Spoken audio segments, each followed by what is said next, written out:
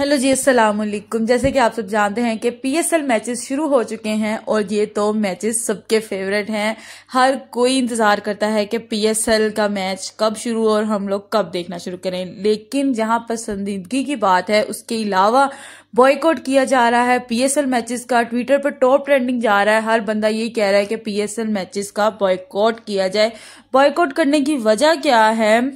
इसके बारे में जान लेते हैं। उससे पहले आपने चैनल को बहुत सारे सवाल उठ रहे ऐसा क्यों किया जा रहा है? के के बारे में तो आप सब जानते हैं। के ने स्पॉन्सर कर दिया है पीएसएल को। के बन गया है पीएसएल का स्नैक पार्टनर।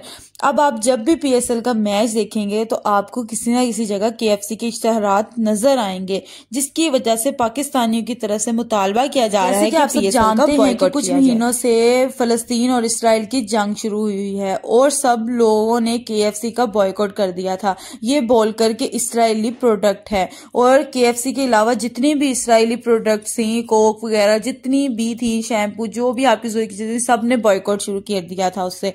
पाकिस्तान में लोग नारे नारे लगा रहे थे कि हमने के नहीं खाना। ये सारी चीज़ें पर जब भी चले जाएँगे लाइनें लगी होंगी रश होगा लोगों का सिर्फ़ उन्होंने सोशल मीडिया की हद तक बॉयकआउट किया होता है। और अब बात आ गई है पीएसएल पर। तो मैचेस तो पीएसएल का तो हर कोई इंतज़ार करता है कब शुरू हो हम लोग कब देखें। तो उनकी तो जान है पीएसएल में वो कैसे इसका बॉयकआउट कर सकते हैं? सिर्फ़ सोशल मीडिया पे शो डाला हुआ है सबने कि हम बॉयकआउट करेंगे बॉयकआउट क्योंकि के साथ जुड़ गया है। लेकिन बाइकआउट असल में नहीं होगा। लोग इतने शौक से पीएसएल को देख रहे हैं जब से शुरू हुआ है तो क्या आप लोगों ने भी इसका बॉयकॉट शुरू कर दिया है? मेरा नहीं ख्याल कि किसी ने किया होगा। अगर आपने किया है तो कमेंट में लाजमी बताएँ और क्या ऐसा करना चाहिए।